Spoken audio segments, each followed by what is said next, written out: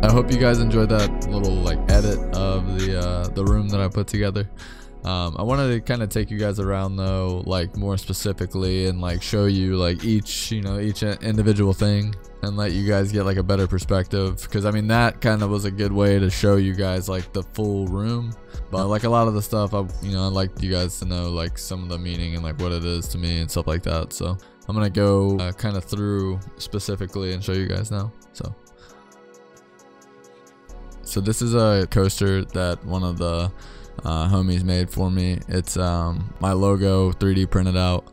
Obviously on a coaster, it's pretty cool looking, pretty functional. Obviously, uh, it looks really good just chilling on my desk, but it's obviously it's super functional too.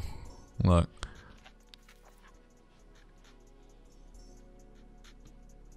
Boom. What more can you ask for? So this is like uh, my shelf of like pretty much everything. uh, it's my one of my favorite flavors of G Fuel, um, strawberry shortcake. Um, probably my second favorite flavor next to Fazeberry, which is definitely my favorite flavor. It's just so easy to drink and it's good. Yeah, and then uh, shaker. And then these are two pop figures from uh, Game of Thrones, which is that's Daenerys, uh, which is like the good. Well, I guess it, you know it is what it is. But then the Night King, who is like the bad guy too. So it's like the good and the bad person from the show. Pretty cool.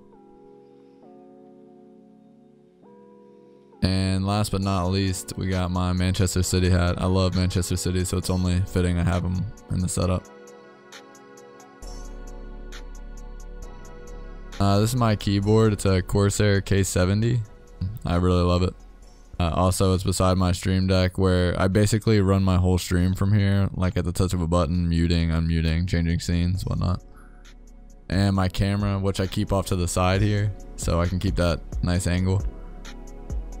This is actually a signed picture of LeBron James in his rookie season before he even like played any games in the NBA. Uh, it's got even like a certificate of authenticity, and you can even see his signature right there, kind of barely. This is a picture of me on Halloween. Jar says Dr. Disrespect.